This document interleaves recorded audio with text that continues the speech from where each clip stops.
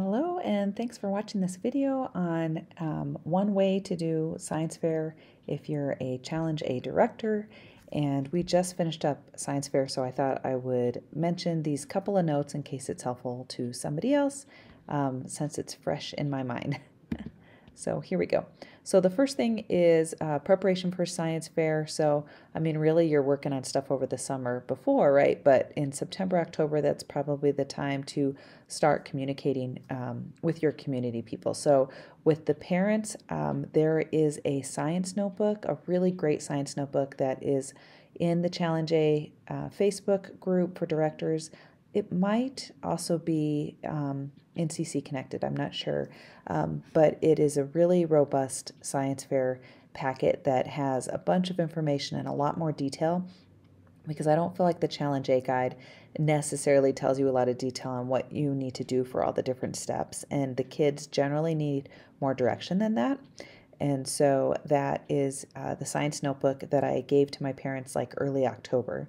And then also in October, I determined, well, actually the summer before I determined the date and the location because we decided that we wanted it to be a community day when everybody else could kind of participate and get to experience it. And we found judges also at that time, or I was pretty sure I had my judges. And then I had a parent informational meeting that just went through a little bit more on what to expect for science fair and kind of introduced them to the packet that I was providing. This is an example of the schedule page from that packet that I mentioned. And so this is really helpful because it gives a more detailed list about what needs to be done at each of those steps and how that corresponds to the week that we're in in class and the dates. And so I updated this to our dates. And so during the research strand on community days, you're going through and you're covering the topics that they talk about in the guide and doing the examples and all that kind of stuff. I would remind the kids where they should be with their experiment and writing, at least in their lab journals, and then putting together their research plan that they had and typing that up. And then I would communicate with the parents when I do my weekly email as to what they should be working on and if they need to bring anything to class, what they would need to bring to class. And then um, as we approached winter break, I made sure to remind the kids that they needed to be running their experiment at least two times over Christmas break because there really wasn't going to be time when we came back after break and started up with class again. Um, over Christmas break, um, okay, let me show you a quick video on all the supplies I used so that when we come back here, you can see what this supplies list is about. I'll go to that quick video real here real quick here. Hey, this quick video is just going to show you some of the things we got together for science fair to see if it's useful stuff that you would want to have as well. So I believe it was on CC Connected. They have these little passport guys and they were actually smaller and I just made them fit four to a sheet so I could print them out because we have like almost 50 foundation kiddos in our community and we cut these all out and so I have seven students. You can see there's seven open boxes and if the foundation kids come through science fair and they interact with my students, uh, my Challenge A students, then the student, each of them have one of these sheets with different colored stars and they'll put them on the little passport book for the kiddos. And then if the foundation kid fills all their passport with all seven of the stars from the different kids, then they come to me to earn a prize and their prize are these fun science themed stickers and so they get one of the stickers. And then the um, all the completed ones go into a drawing, and the winner of the drawing gets this science kit. And I bought this off of Amazon for like $14. So it was a great deal. It has a bunch of supplies in here, so I think they'll be excited about that. And then I also picked up um, little prize, or not a prize, a gift for my science fair judges. So I have a thank you card on here. These little water bottles were less than $10 at Walmart. And then when you open up on the inside, I have some tissue paper in there and a bunch of little chocolates because the Valentine's Day candy is out. And so I was able to stuff that with chocolates. In terms, in terms of the awards, um, we have a couple different things. So I have these Science Fair Survivor um, ones that I put together. This I made on Canva, and I'll link down below for just like a blank one that you could use if you wanted to print it out. I'll also give you the Canva link if you want to edit it, but I think you might have to have a pro membership on Canva. in order to make the edit. So I'm not sure of that. So that's why I'll put the PDF as well. And then you can see that shiny embossed sticker down here. I bought these off of Amazon and I just thought it gave it like a nice seal and a much more formal presentation. So I printed these on cardstocks and I have one of these for each of my students in the class.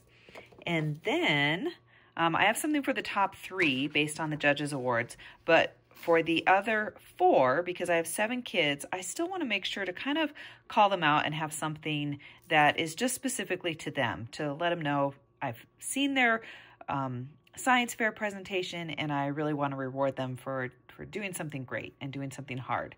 So um, one of the moms on the Challenge A directors group on Facebook put this list of possible awards together and these are in color. So I just took these and printed them out in color on sticker paper. And so these are sticky and for the four kids that are not going to get the top three awards, I still want to find a way that they fit one of these categories and they can get one of these awards. So then when I'm passing out the um, certificates like this, I can also say, and they also were awarded the Mad Scientist Award for having the most creative experiment or approach to collecting data. And then they can get that so that everybody feels like they get something special. The next thing is for my second and third place, I ordered these science fair medals and they are from crownawards.com. I'll link to that below. Also, they have a bunch of different faces for the medals and they have a bunch of different ribbons. So you can pick what you want and then you can customize. And they have these, um, this is like carved into here. I have challenge A second place. And then on the other one, I have challenge A third place. And these were like, I don't know, not very much, five, six bucks a piece. And then I have a trophy for the winner of Science Fair for this year. And so this is one of the trophies. It's actually pretty heavy. I mean, obviously it's not like full metal. This is plastic up here, but the base is pretty heavy and it's already engraved with whatever you want it to say on here. So I have it say Challenge A 2025 winner. And then they have the science fair emblem up here. So useful stuff. It was less than, th- it was about 30 bucks to get these medals and this, but that's all customized and that was shipping included. And they shipped it out within like a week. So I got it really quickly. So um, some useful stuff I think might help you out. Okay, so thanks for watching that. And so here you go. Here's all the stuff I had to order. And then I also um, wanted to host a meeting with the judges to explain more because none of them had Challenge A kids. Um, but it was really hard to coordinate our schedules. So it was easier just to make a YouTube video and then they could just sit and watch that. And it would teach them a little bit more about it.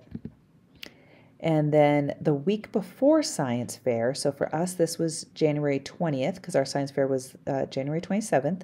So the week before, I put an advertisement in our band, which is this little graphic here. I made it on Canva. And then I collected printed copies of the research papers. So we had three judges. And so I had all my students bring three copies of their research paper the week before. It was due the week before to give them enough time to read over those research papers. And so we had um, one co- printed copy for each judge, and then I printed out the copies of the judges' grading rubrics.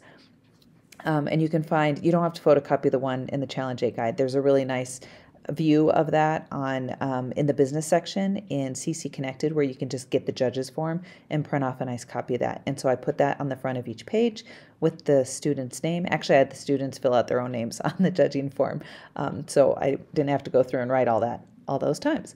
And so I handed those to those judges a week before, and they had that whole week to look over the papers. And then I, of course, during the research strand, went over with the kids what we were doing the actual day of science fair so that they just didn't have to worry and they knew what the schedule was. And then the actual day for community day for the science fair, um, our challenge students start at 8.30 so we start earlier than foundations. Foundations kiddos start coming to campus at like 9 o'clock. And by 9.30 they're kind of done with their morning assembly stuff and they're in their rooms. And so at that point the moms were available to come and be part of our um, science fair stuff. So about 9:30, um, I had a mom volunteer who was helping pull two students at a time out of our strand that we were working on, and those two students would go and do their presentations to the judges. so only one student at a time presenting to the judge but i just kind of had them go um, in pairs so that there was always another student with one student um, i just for safety reasons i thought that was a good idea. Uh, and it was also not quite as um, they weren't quite as nervous if they were just presenting with another student there but they didn't have to present like in front of the whole class or whole community or anything um, really terribly scary like that. So they presented with the judges and then they would come back to um, the room and the strand and then um, the judges would probably need about five to ten minutes to kind of go through and do all their marks on their papers and make their judging um, decisions and stuff and so just do all their stuff on their grading rubric and then the next pair of students would head out. And so we did that and it took about an hour and a half uh, to get through all the kids doing their presentations and the judges asking their questions and stuff like that. But at the end of that, the judges were totally done. They had their grading rubrics completed, and then I had a mom volunteer who was awesome and graded, or well, didn't grade, but scored all of those forms. And so it made it really quick to figure out who was first, second, and third place because we ended up doing first, second, and third place based on those judges' forms um, for the students. And then, like you heard in that video, I kind of had some extra awards just to recognize the students who weren't first, second, and third, but to know that you know their projects were seen and we appreciated everything they put into it and all the hard work that they did. And um, they still had an awesome experience. Uh, experience experiment and needed to be recognized for that. So we had those other um, awards that I mentioned. And um, we had a potluck in our community day. We have um, those quarterly, and it happened to fall on the same day as science fair, which worked out great because a lot of parents were there for potluck. Um, there was food there, so I didn't have to worry about that as a director, trying to budget having snacks and food and all that type of stuff. So I didn't even worry about that. Um, and then towards the end of our lunchtime, we had uh, the judges make some remarks, and they were very impressed. And so they had some very positive remarks, and that was a really good thing for them to do. And then we went through those awards that I mentioned, and then uh, pulled the raffle winner for the Foundations kid that won the science kit. And that, uh, yep, that's the end of the presentation. So there you go. That's how we had science fair run in our community, and maybe that'll be helpful for you. Thanks for watching.